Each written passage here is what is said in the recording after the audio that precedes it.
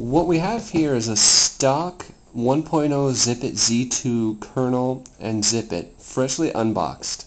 We're going to walk you through flashing and the new firmware features.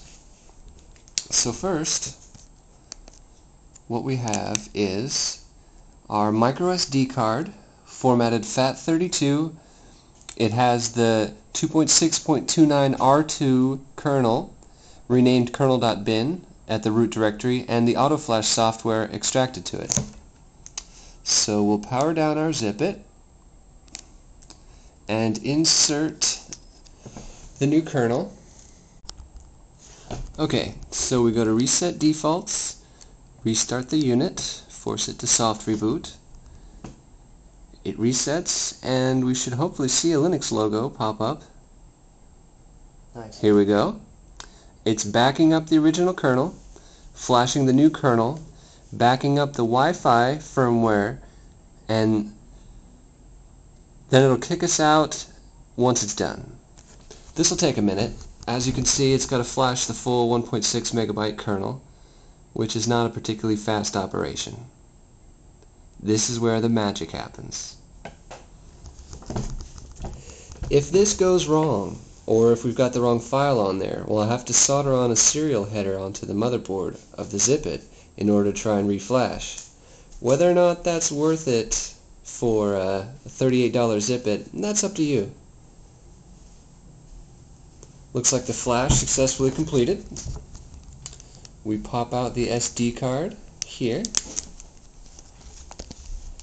Power on the Zipit for the first time with bated breath and a terrified expression. And success! The new firmware has been successfully flashed and is running off the internal MMC block 0 and not off the SD card.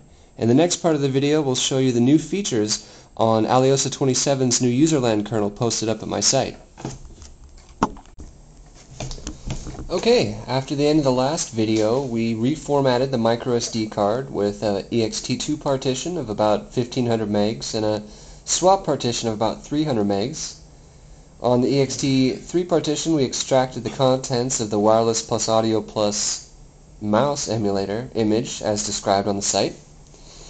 And with any luck, when we boot it now, we should boot into the full userland and new 2.6.29R2 kernel. Ah, we see lots of disk activity. That's a good sign. Hopefully when I extracted the image, I remembered to do it as root with correct permissions and structure. This will take a minute, even if it does work. Grab a cup of tea. And we are booted. Login is root, double O-T. No password is required if you remember my last image. And let's go ahead and start X. Okay, so we've booted up into Fluxbox with StartX. As you can see, mouse emulator is working well. You can click, select, etc. with the modifier keys. So now for the M-Player test. As you may know, the speaker is remarkably underpowered, so as you can see, I've hooked it up to an external speaker array, so for the purposes of this video that you'll be able to hear everything. And I've put one of my personal collection MP3s on here, so let's try this out with M-Player, see how it goes. As you can see, it loads it up and starts playing just fine.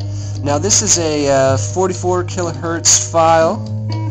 I believe it to be about 20 megs. It's high quality, 128k bits per second. Not super high quality. But as you can tell, you know, no stutters, no problems, no memory issues. And in fact, while we're doing this, why don't we just uh, Alt-Tab over to a new terminal. Start us up another terminal maximize it, and how much free memory we have?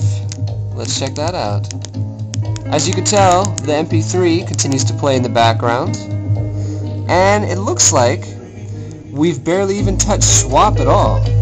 And this is while there's an MP3 playing in the background. So fantastic stuff, a lot of good stuff happening, especially mouse and audio. Good stuff.